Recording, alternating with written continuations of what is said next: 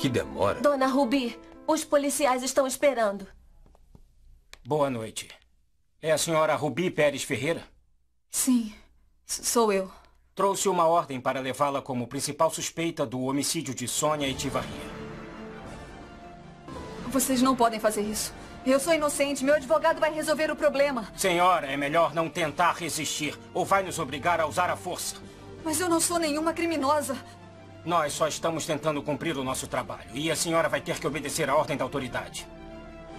Não, não, não, não se aproxime. Isso não é preciso. Deixa que eu vou sozinha. Dora, liga pro Heitor agora e avisa, tá? Sim, senhora. Não me toque! Eu vou quebrar tua cara se você voltar a me tocar!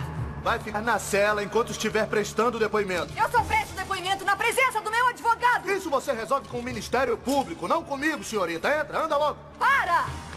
Eu vou sair logo daqui. Oi. Como vem, nós temos a visita de uma senhora. Bonita! Não encosta. Nós dois não somos iguais, então não me toque. Aqui sim, queridinha. Todas somos iguais.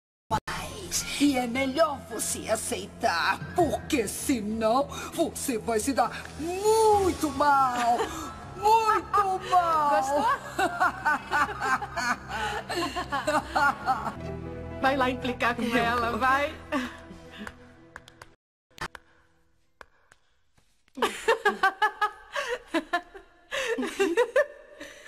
E você? Onde trabalha?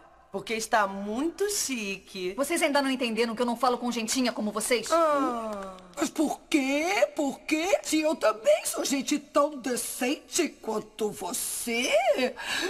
Olha só, eu gostei desse lencinho. Mas isso é uma pena, porque eu não vou te dar. É uma seda caríssima. Uh, igual a minha. Caríssima.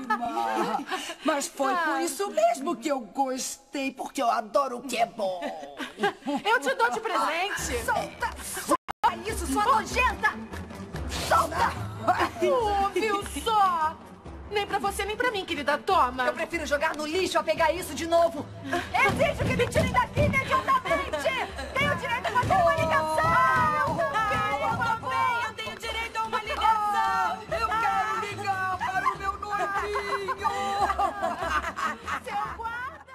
Mujer de nadie, mujer de todos, mujer que mata, mujer que duele, mujer que entrega y te arrebata.